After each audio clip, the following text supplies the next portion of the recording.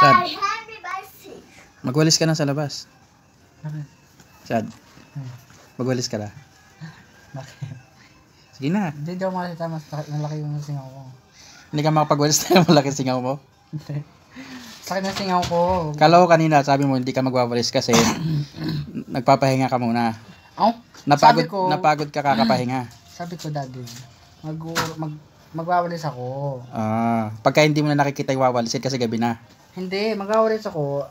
Magkapahinga lang ako, sabi ko. Ah, kailan ka napagod? Hindi, ngayon daddy pagod na ako. Nakakapagod ka kalaro ng Sakit games? pa ng ulo ko. Wow, Hindi, sakit sa ulo. ngayon lang nakalaro. Hindi sumakit ulo mo sa kakalaro, ano? Sige, pahinga ka muna, kaawa ka naman. Okay, thank you. Pagod ka sa kakalaro ng games.